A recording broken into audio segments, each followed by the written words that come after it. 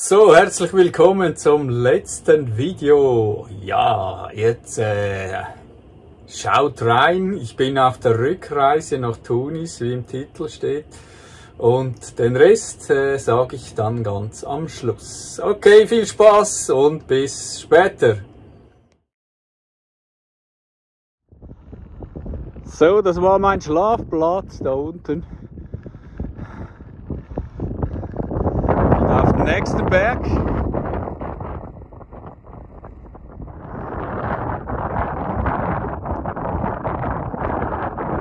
Meine Wölfe da hinten. So hat man früher gewohnt. So, wisst ihr was das ist, dieser Platz? Der hat, glaube ich, zwei Funktionen. Äh, einerseits Erntetrocknung, Oliven hier. Ich weiß nicht, ob man die trocknen muss. Und andererseits Wasserspeicher. Das Wasser sammelt sich, geht da unten rein in dieses äh, Loch und ja, von da kann man es dann verwenden. Wurde ich gerade zum Tee eingeladen. So, Tee gekriegt. Der ist sehr, sehr konzentriert, auch fast dickflüssig. Die kochen den so lange. Äh, natürlich süß. Und äh, es ist Wahnsinn. Er hat gesagt, äh, der Tee, wenn ich den Tee trinke, dann kriege ich kein Covid. Wahnsinn, ja. So, jetzt werde ich noch mit Brot und Öl bedient. Also hier ist die Gastfreundschaft extrem hoch. Merci. So, leicht gefrühstückt, Olivenöl mit Brot. Äh, die Gastfreundschaft ist einfach unglaublich. Das ist, äh, ja, wenn man irgendwo ein bisschen außerhalb ist, dann, wenn sie da einem entdecken, wird man immer eingeladen. Das ist auch meine Erfahrung schon vor drei Jahren. Ja, ich schätze das sehr und die sind wirklich herzlich. Ja, jeder macht mal Fehler. Ich habe mich festgefahren. Ich hätte nicht zuerst hier hochfahren sollen. Und ich habe 5 Bar Reifendruck gehabt. Und beim Wenden halt, ja, ist er abgesauft und dann dreht er durch. Jetzt habe ich mich freigeschaufelt. Und stehe auf den Brettern. Druck habe ich abgelassen, damit ich nur einmal, ich war zu faul vorher, geb's zu. Und ich habe ihn so tief eingegraben, weil ich dachte, ja, vielleicht geht's ja, weil ich zu faul war. Ja, jetzt wurde ich bestraft und jetzt äh, sollte es gehen. So, das ist gerade eine Gelegenheit, die Sandbleche wieder glatt zu biegen, weil das ist krumm geworden vom LKW. Und jetzt habe ich es gedreht, bin hinten äh, ja, draußen und jetzt fahre ich los. Ja. Ja, das ist ein gutes Beispiel. Der Reifendruck macht extrem viel. Sobald er oben ist, man sieht's, man sagt nicht mehr ein. Und dieses Ding ist jetzt auf die andere Seite krumm. Super, jetzt fahre ich nochmal drüber. So, während ich mich hier abrackere, machen die mal Pause. Die haben es schon schön, du. So, jetzt fahre ich wieder raus aus dieser misslichen Lage. Ich habe die die Sandbleche noch ein bisschen gerade gebogen, ist gar nicht so einfach, sind noch nicht äh, perfekt, aber egal. Jetzt habe ich wieder festen Boden, jetzt muss ich den Reifendruck wieder hoch tun.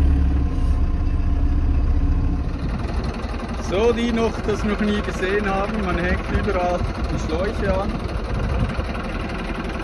Von hier habe ich den Druck, geht er schön hoch, er war vorher mal bei 2. Hier ist die Armatur, hier kann ich den Druck einstellen. Und zwar hier ganz normal, welche zu höher. Sofern natürlich der Druck der Bremsanlage da ist. So, jetzt könnt ihr sehen, wie der Druck einfach automatisch rauf geht.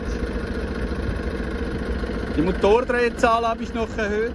So, jetzt geht es hier auf die neue Autobahn offenbar nach Gabes. Mitten auf einer geraden Strecke plötzlich eine Bodenwelle, wenn man da nicht aufpasst und mit 80 reinbrettert. Das ist dann nicht lustig, das war jetzt schon die zweite.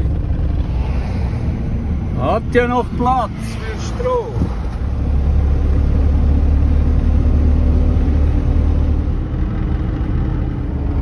Damit ihr auch ein bisschen was vom Land mitkriegt wollte mein Auto waschen, aber der hat noch andere Autos, keine keine Zeit gehabt, jetzt fahre ich weiter. Das ist Medenine, Medenine. Kleiner Stau, ich weiß gar nicht mehr, wann ich das letzte Mal im Stau stand, weil hier äh, wenig Verkehr ist in Tunesien, außer eben die Städte, aber außerhalb kaum Autos.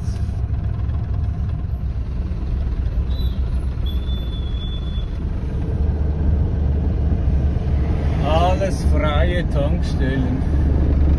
Da kriegt man den Diesel günstiger, aber man weiß halt nicht, was drin ist. So, ich habe übernachtet auf einer Piste in der Nähe der Hauptstraße und es hat geregnet die ganze Nacht durch unterhalb von, äh, wie heißt's, habe ich vergessen, ähm, ja, fällt mir noch ein, oberhalb auf jeden Fall von, äh, ja, jetzt muss ich überlegen. Ja, unterhalb von Gabes habe ich übernachtet und jetzt äh, ist die Piste hier natürlich nass. Und äh, der, ja, jetzt wird mein Fahrzeug natürlich ziemlich schmutzig, weil das Zeug bleibt kleben. Aber der Regen war dringend nötig hier. Es hat also auch in der ganzen Wüste geregnet. Ich habe auf die Karte geguckt, wunderbar. Endlich hat es Regen. So, hier sollte auch mal eine Brücke kommen. Wann auch immer. So, solche Bilder gibt es hier selten. Ich fahre durch Wasser. Echt selten. Also diesen Anblick gibt es wirklich selten. Alles voll Wasser, es hat geregnet. Halleluja, das ist gut. Die Leute brauchen das. Die Erde braucht das. Also hier auf der Strecke nach Norden, da gibt es immer wieder Polizeikontrollen. Das läuft gut, aber mich nehmen sie nicht. Oh, da hat es Wasser. Das ist geil. Unterbodenwäsche. Guck mal, wie das spritzt. so, jetzt bin ich unten auch sauber.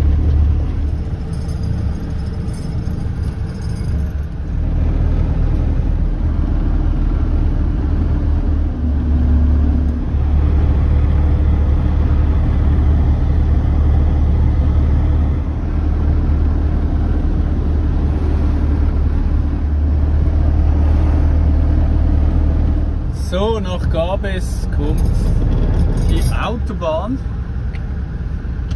die hier eigentlich steht Zahlstelle, aber äh, da läuft nichts. Es steht dann mal, aber das kann Jahre dauern, bis da dann wirklich äh, eine Zahlstelle ist. So, ich bin jetzt in Fax angekommen, habe hier schon übernachtet. Äh, nicht ein super Platz, aber was soll's einfach ein bisschen äh, landschaftlich. Und jetzt fahre ich weiter in den Norden und ihr seht, es ist kalt hier, es ist kalt geworden. Also kalt ist relativ. Ein Wind geht eben ein starker. Ich glaube 10 Grad ist es jetzt, aber der Wind halt. So, dann fahre ich wieder raus aus dieser Landschaft zwischen diesen Kakteen durch. Ja, und diese rote Früchte, diese Kakteen, die kann man übrigens essen. Habe ich mal in einem Video gezeigt. Die sind eigentlich nicht schlecht, sogar gesund, aber stachelig. Ich bin jetzt auf der Raststätte nach Fax. Fax ja. Da sind ein paar Libyer, die haben mich jetzt zum Essen eingeladen.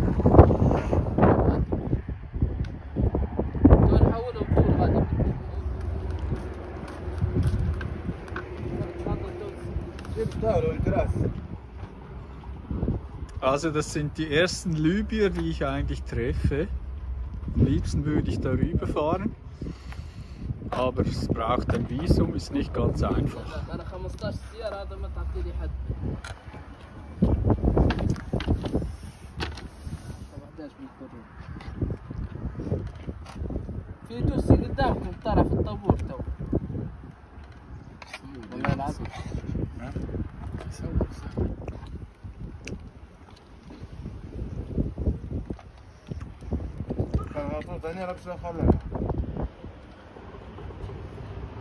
شكرا لابس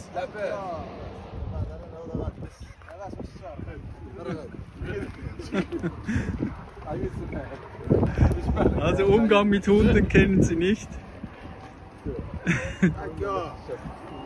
Bye!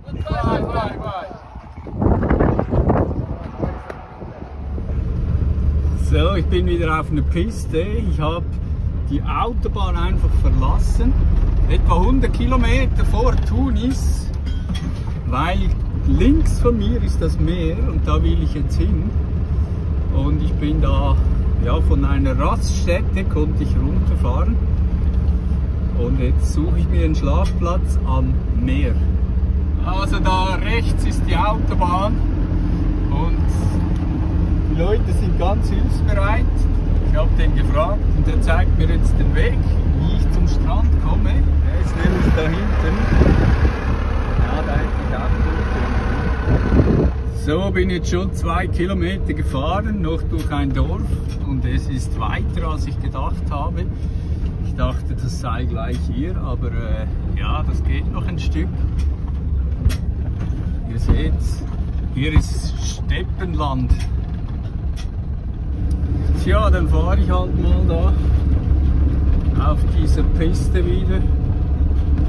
Hoffe, da vorne ist kein Schlamm. Also kein Schlamm, alles gut. Jetzt darf es einfach nicht regnen, das kommt noch dazu. Sonst, ja, es muss viel regnen, bis hier alles weich wird. Ja, das sieht schon geil aus. Ich fahre aber lieber auf der Spur, weil dann sehe ich, dass das funktioniert, weil es könnte ja sein, dass es irgendwo eine weiche Stelle gibt und dann saufe ich ab. Und das wollen wir ja verhindern. So, sogar Kühe hat es da vorne. Ihr seht, es hat vor ein paar Tagen geregnet. Ich glaube vor zwei Tagen. Jetzt ist es wieder trocken. Aber das wäre dann scheiße.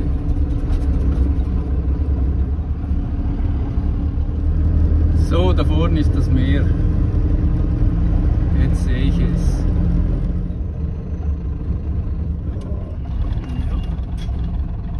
Weichsand, ein bisschen.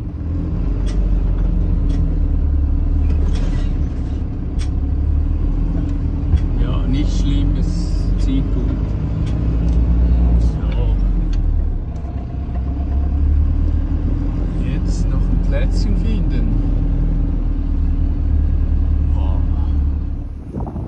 So, ich habe mein Plätzchen gefunden am weißen Sandstrand. Noch natürlich ein paar Naturprodukte. Plastik, der ist auch da und da hinten ist das Meer. Äh, ich bin ein bisschen eingesoffen, aber nicht fest. Ich denke, das geht ohne Luftablassen wieder raus morgen. Ja, super. Dann äh, da hinten ist die Steppe. Dünen und das Meine Wölfe, die sind schon unterwegs.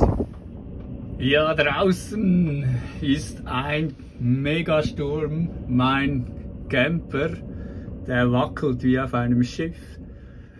Aber denen ist das egal. Hier sind wir ganz alleine. Freie Natur. Angie ist wieder in Kampfstellung. Regnen kommt's nicht. Ich habe geguckt, weil das kann ich nicht riskieren. So, neuer Morgen. Da ist mein Übernachtungsplatz. Die Wölfe sind schon zwei Stunden draußen, die haben aber drin geschlafen, die wollten reinkommen, weil es hat echt gestürmt. Und hier die riesige Steppe. Ja, hier ist echt Niemandsland. Ich bin da ganz alleine. Jetzt gehen wir zum Strand. Andele! Das macht Spaß. Äh, weit und breit ist da wirklich niemand. Da ist glaube ich noch eine Flussmündung. Ja, der Plastik, der wird natürlich angeschwemmt, weil ich habe es gesehen im Landesinnern, die schmeißen vielfach ihren Abfall in den Fluss, beziehungsweise äh, ja, da wo der Fluss sein sollte. Und dann, wenn es dann stark regnet, schwemmt das alles runter. Aber ist natürlich auch viel Naturdreck, das muss man auch sagen. Und der Sand, der ist wirklich schön weiß. Es ist ein wirklich ganz schöner Sand.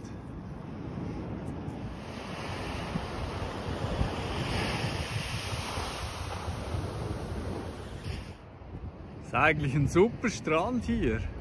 Schön breit. Ja, das ist jetzt halt ein Naturstrand, der wird nicht gereinigt wie da in den Touristengebieten, das ist normal, war früher immer so, bis auf den Plastik natürlich. Ja, jetzt laufe ich da einfach mal. So, jetzt habe ich sogar noch eine ja, 3-4 Meter Sanddüne gefunden, auf der ich gerade stehe. Leider hat das Wetter jetzt gerade umgeschlagen, aber ich zeige euch trotzdem die Umgebung. Da ist so Steppenland, vermutlich nicht gut bebaubar. Das ist gut. Ja, da kommt ein bisschen Wolke, vielleicht sogar Regen, da muss ich aber abhauen. Da hinten steht mein Camper.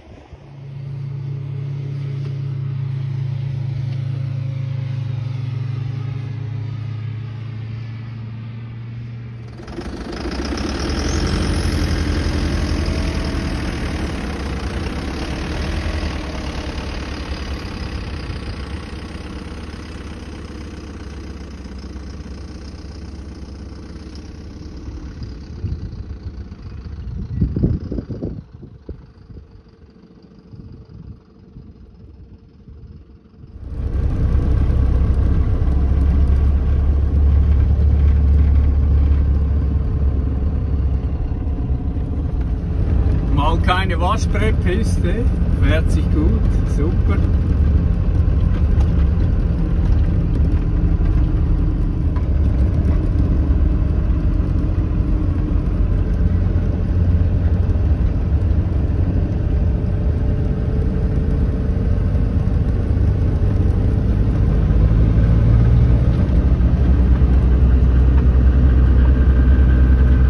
So, die zwei durften laufen. Angie hat Vollgas gegeben.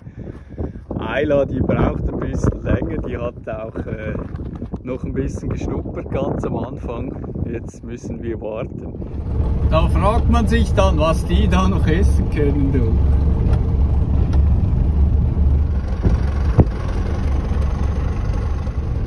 So, das war wirklich ein super Platz zum Übernachten.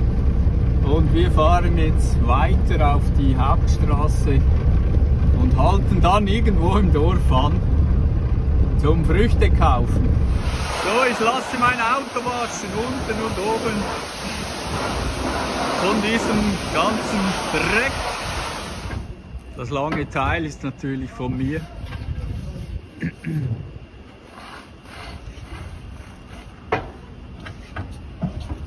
So, der Wagen ist sauber. Ich fahre gerade weg von der Lavage. Und hier wimmelt es nur so von Kindern. Wahnsinn. 200 oder so. Ja, du.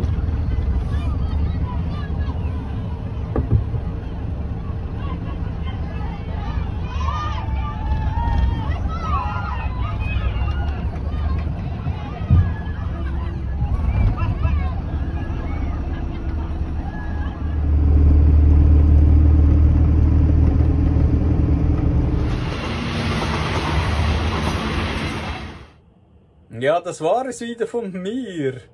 Es wird das letzte Video von Tunesien sein. Ich bin nämlich auf der Rückreise.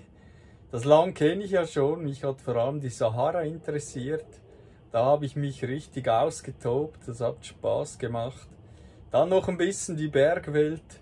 Und ja, jetzt fahre ich zurück. Auf Italien natürlich zuerst, nehme die Fähre und dann äh, Schweiz und danach Deutschland. Ja, also ihr hört wieder von mir auf jeden Fall.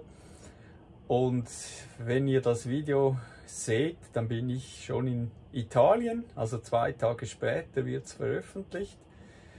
Heute wird das vorletzte veröffentlicht, das seht ihr jetzt dann auch.